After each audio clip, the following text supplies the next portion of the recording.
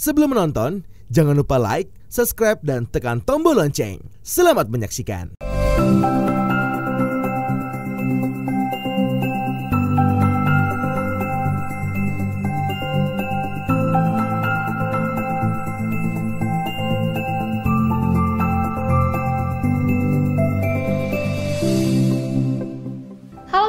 Eljon, kembali lagi di Eljon Medical Forum bersama saya Cynthia Kusumarani dan tentunya di Eljon Medical Forum ini kita akan membahas seputar dunia kesehatan yang sudah banyak sekali kita hadirkan dokter-dokter, dokter spesialis juga sudah banyak kita hadirkan dan membahas berbagai macam uh, bidang kesehatan dan hari ini kita akan membahas khususnya adalah mengenai meningitis. Di sini sudah hadir uh, Dr. Ahmad Harun Musin, spesialis saraf di sini yang bekerja di Rumah Sakit AU Dr. Dodi Sarjoto, kemudian Rumah Sakit Ibnu Sina Makassar dan juga di Klinik Wirahusada Medical Center.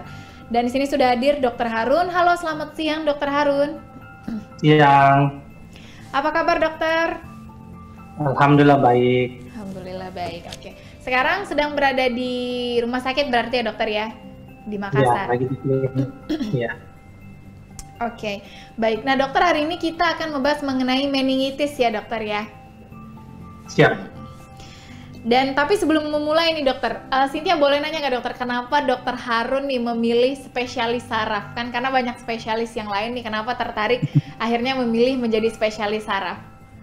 Iya, makasih pertanyaannya. Iya. Jadi uh, kenapa saya memilih saraf? Ya panjang perjalanan.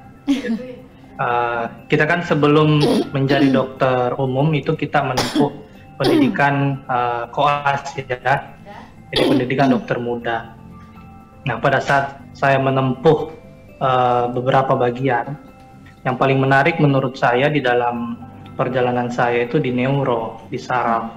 Jadi banyak kesan ya, mulai dari uh, merawat pasien ya, merawat pasien yang bisa dibilang kalau penyakit-penyakit saraf itu uh, butuh banyak harapan ya, karena saraf itu sulit untuk segera sembuh, tidak seperti penyakit-penyakit uh, lain. Jadi uh, begitu saya uh, merawat pasien pertama kali di uh, dokter uh, koas dulu ya, itu saya betul-betul merasakan perkembangannya, mulai dari ngomong, kemudian atau tidak sadar, kemudian lambat laun beberapa hari sudah bisa baca tag saya, sudah bisa kenal saya. Jadi saya uh, begitu uh, banyak kesan yang uh, yang sehingga saya uh, tertarik, ya, tertarik. Bahkan uh, sebelumnya saya diskusi-diskusi sama dokter-dokter uh, residen dulu ya, maunya jadi apa, mau jadi dokter saraf ya. Ya lambat laun akhirnya saya dokter. Kemudian uh, bertemu lagi dengan uh, senior ya yang betul-betul dulu menginspirasi saya. Saya melihat ternyata di saraf itu masih banyak yang belum digali ya masih berkembang ilmunya dan uh, masyarakat di Indonesia ini masih butuh ahli-ahli uh, saraf yang uh, membantu mereka. Jadi sehingga saya sangat tertarik uh, untuk mendalami ya. Di saraf ini banyak macam lagi ya ada ya, nyeri ya pain ada vascular stroke ada uh, infeksi ya seperti yang kita ingin bahas sekitar meningitis. Jadi itu membuat saya ingin menggali potensi sehingga saya masuk ke saraf menjadi ahli neurologi. Gitu Mbak Cynthia. Oke betul sekali ya dokter. Jadi memang saraf ini uh, cukup sensitif ya dokter ya. Jadi penyakit-penyakit yang berkaitan dengan saraf pun uh, lumayan lambat penyembuhannya ya dokter ya, apalagi ya. dengan akibat yang bisa menjadi fatal juga yang berkaitan dengan saraf. Iya hmm. benar mbak. Mm-mm. Seperti yang kita bahas hari ini ya dokter yang mengenai meningitis ya, di mana uh, meningitis ini cukup banyak juga artis-artis yang uh, mengidap ya dokter ya, sehingga akhirnya orang-orang juga banyak mengenal penyakit meningitis ini yang bahkan juga uh, uh, menyebabkan kematian juga ya dokter ya sampai akhirnya meningitis ini. Nah uh, sebenarnya dokter meningitis ini penyakit apa dokter? Boleh dijelaskan dokter Harun silakan. Jadi meningitis adalah uh, penyakit peradangan pada selaput otak. Ya, jadi secara anatomi otak itu dibungkus ya dibungkus oleh sebuah selaput ya yang terdiri dari tiga lapis gitu ya. Jadi inilah yang meradang. Jadi selaput ini yang meradang. Nah biasa tandanya itu tegang ya, tegang uh, pada leher ya, nyeri kepala. Jadi penyebabnya bisa kena infeksi ya, infeksi virus bisa, bakteri bisa, ya jamur juga bisa. Seperti itu Mbak Cynthia. Oke, jadi infeksi ya dokter ya. Jadi pada selaput otak tadi. Uh, gejalanya itu seperti apa dokter kalau meningitis ini?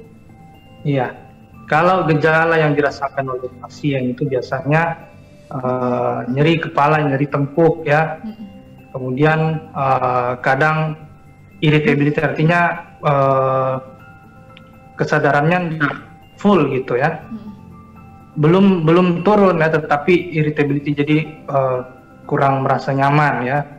Kemudian kalau dilakukan pemeriksaan fisik itu akan uh, tampak ya uh, pada perangsangan menings biasanya itu lehernya ditekuk ya. Pada saat leher ditekuk itu akan ada tahanan ataupun pasien merasa nyeri ya. Kemudian uh, bisa juga kakinya juga ditekuk ya. Kalau kakinya ditekuk biasanya juga lehernya ikut uh, menegang ataupun nyeri ya itu namanya uh, kaku kuduk ya hmm. atau rangsang menings rangsang meningsnya positif nah itu uh, gejala salah satu gejala uh, pertanda bahwa terjadi meningitis meskipun uh, harus juga dilihat gejala yang lain. Hmm. Oke okay, baik. Jadi gejala utamanya adalah uh, nyeri di kepala, sakit di kepala ya dokter ya? ya kaku kuduk, kaku kuduk ya, kaku kuduk di ya nukal hmm. rigidity bahasa Inggris. Ya. Oke.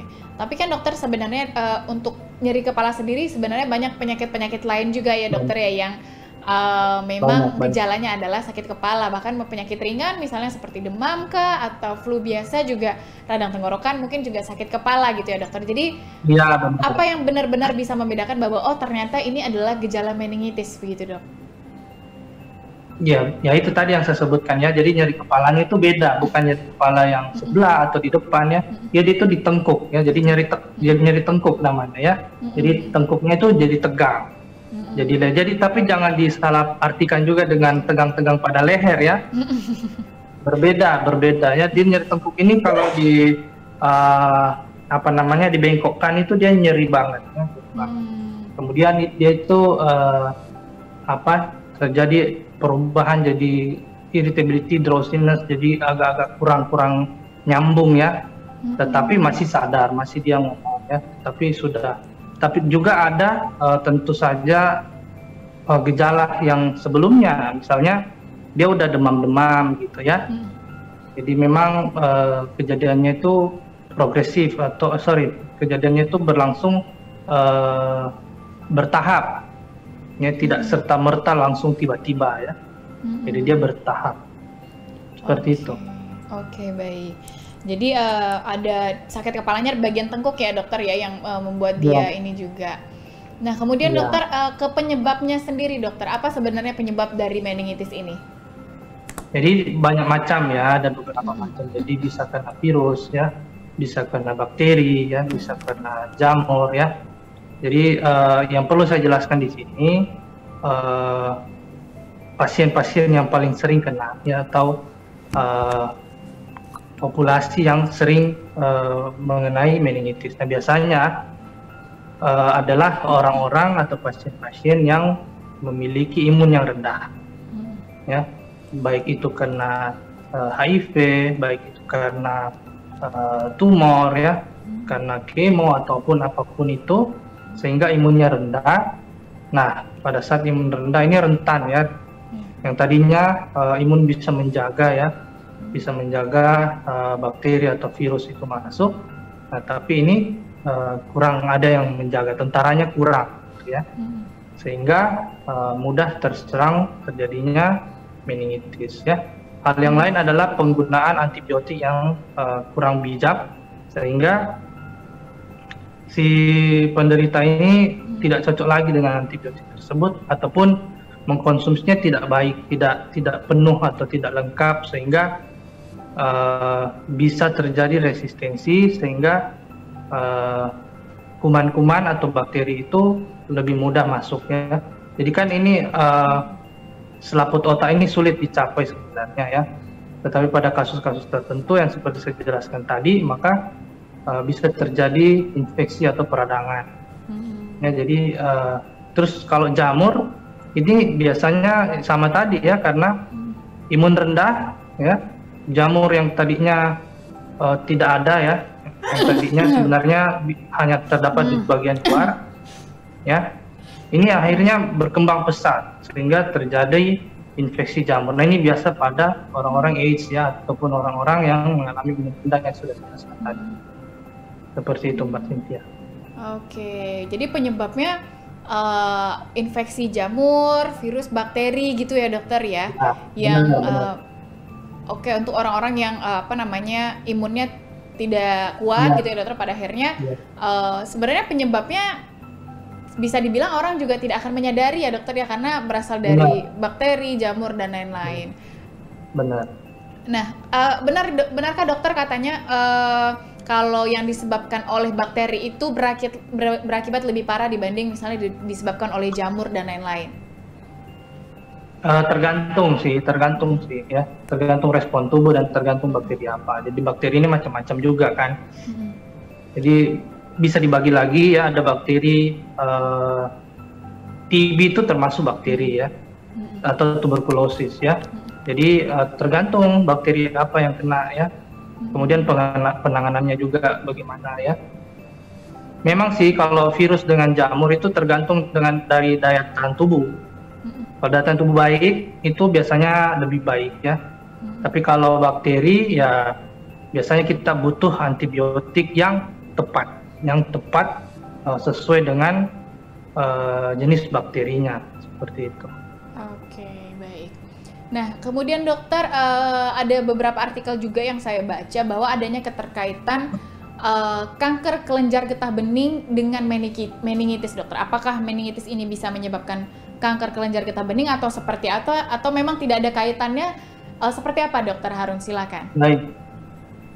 Uh, saya rasa pertanyaan ini muncul uh, karena pemberitaan yang lalu ya mengenai ada uh, sosok uh, tokoh yang meng mengalami Uh, tumor getah bening, kemudian diisukan lagi menjadi meningitis ya. Tetapi saya bisa jelaskan bahwa tidak ada hubungan antara keduanya. Ya, jadi uh, satu tumor atau cancer ya, uh, tumor kelenjar getah bening uh, yang satunya lagi uh, infeksi. Jadi dua uh, penyakit yang berbeda. Namun bisa uh, ada hubungan tidak langsung. Ya salah satunya yang saya sudah jelaskan tadi bahwa pada pasien ini imunnya rendah ya. Sehingga men-trigger terjadinya uh, tumor dan men-trigger juga terjadinya infeksi dalam hal ini infeksi uh, meningitis. Nah, dan kalau uh, sudah uh, fase lanjut maka bukan hanya meningitis tapi meningoencephalitis di mana bukan hanya selaputnya saja meradang tetapi juga jaringan otaknya juga yang rusak. Nah, inilah yang uh, bisa menyebabkan kematian. Oke, baik. Nah, uh, kemudian dokter meningitis ini apakah termasuk ke dalam penyakit menular kah dokter atau seperti apa? Karena ada beberapa artikel juga yang mengatakan bahwa meningitis itu bisa menular melalui flu, batuk, atau bersin. Seperti itu, dokter. ya, benar. Jadi karena ini infeksi, namanya infeksi, jadi pasti ada uh, caranya untuk berpindah ya. Jadi memang adalah uh, penyakit yang menular ya. Misalnya dia uh, karena meningitis uh, TB ya. Hmm. Jadi TB ini bisa atau tuberkulosis ini bisa uh, menular. Hmm. Jadi cairan otak atau cairan uh, cerebrospinal dari pasien ini ya tentu infeksius, namanya infeksius yang menular. Hmm. Jadi memang ini adalah uh, sebuah penyakit yang menular. Nah, walaupun ya karena dia infeksinya dalam otak, dia tidak uh, virulensi atau uh, kemampuan dia untuk menular ya tidak seperti uh, infeksi di luar ya seperti di uh, lendir ya mukosa hidung ataupun uh, akibat batuk dan bersin ya seperti itu. Iya oke okay, oke okay, baik dokter. Jadi menular ya dokter ya berarti uh, menularnya ini melalui apa saja dokter? Apakah mungkin uh, pasien yang mengidap meningitis ini tidak bisa untuk kita jenguk juga karena ini penyakit menular. Jadi menularnya melalui apa saja dokter? Ya, jadi tergantung ya. Jadi tadi misalnya ini kita cerita ya uh, meningitis TB dulu ya. Jadi kalau hmm. meningitis TB ya bakterinya menular melalui droplet. Hmm. Kemudian pasien biasanya uh, mengalami infeksi TB yang paling sering ya uh, di paru-paru dulu, hmm. kemudian dia menyebar ke bagian lain namanya TB ekstra paru, kemudian uh, TB ekstra parunya bisa saja di mana-mana, tetapi uh, misalnya pada kasus ini uh, masuk ke selaput otak maka akan mengakibatkan terjadinya uh, meningitis TB ya. Kalau misalnya dia adalah meningitis tifosa atau karena uh, tifoid maka uh, sumber penularannya dari uh, biasanya dari makanan ya, hmm. oral dari uh, masuk melalui mulut. Hmm. Karena uh, tipes ya, tifoid. Hmm.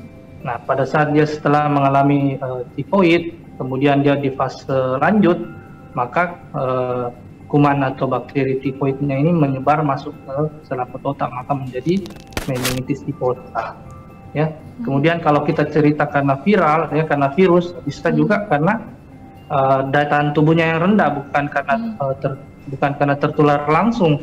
Ya, misalnya uh, cytomegalovirus, ya, kemudian uh, herpes virus ya. Jadi macam-macam. Biasanya sih karena daya tahan tubuhnya yang rendah. Kenapa? Karena virus-virus ini sebenarnya tidak begitu uh, mematikan atau tidak begitu uh, apa namanya menyebabkan uh, terjadinya gejala pada orang yang sehat hmm. imunnya, tetapi pada orang yang imunnya rendah maka akan menyebabkan penyakit-penyakit uh, yang berbahaya. Salah satunya adalah meningitis.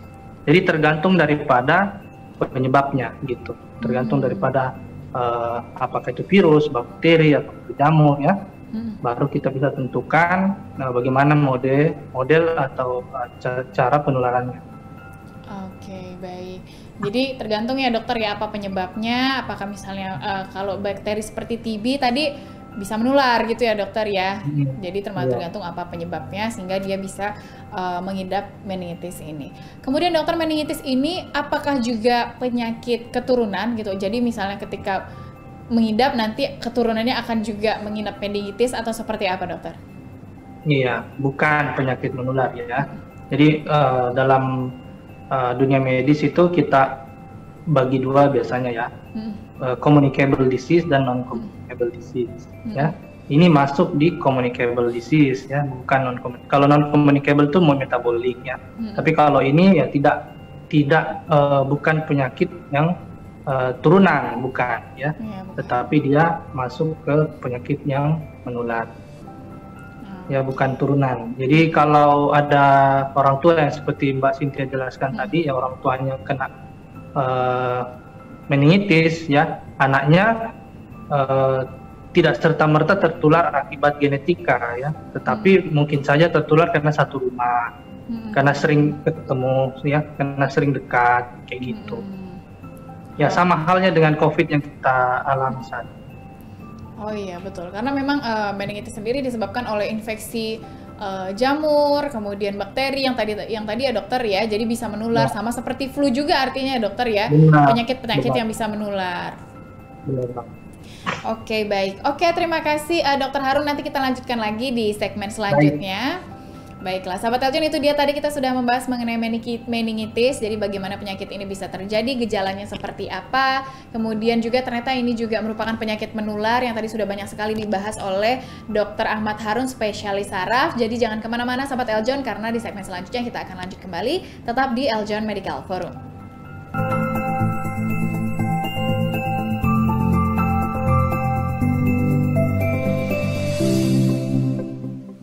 Si Patrick dan Tuan Crab lagi tamasya. Diklik subscribe-nya ya.